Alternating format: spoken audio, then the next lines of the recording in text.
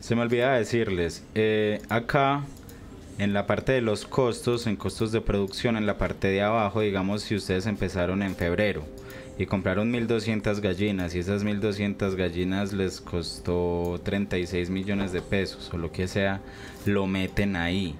Porque si no, al final en la contabilidad no van a, saber bien cuánto gastaron. Entonces ahí tienen que meter en contabilidad en el primer mes eh, las gallinas, digamos en el galpón. Aunque el galpón les va a servir para más adelante, sí o qué, pero eso es un gasto que hicieron. Que en el galpón se les fue 15 millones. Listo. Eh, que en Viruta, en Viruta para el piso de las gallinas, que se les fue un millón doscientos mil.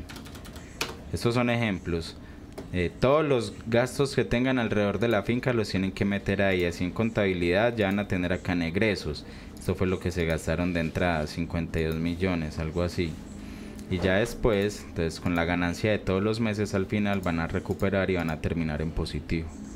Eso es lo último que me faltaba agregar eh, para que todo les quede bien su contabilidad. Así no van a tener ningún problema.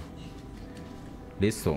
De todas formas, si llenan todas las columnas de los gastos, que la pueden llenar hasta la 71, hasta acá pueden escribir los gastos, que están estas cuatro cositas más rojas pueden poner los gastos de un mes en otro sin problema, la verdad, porque al final lo único que importa es cuánto se gastan en total, no tanto el mes a mes. Así que bueno, ya con eso queda clara la explicación. Chao. Espero que les sirva. Cualquier duda comenten.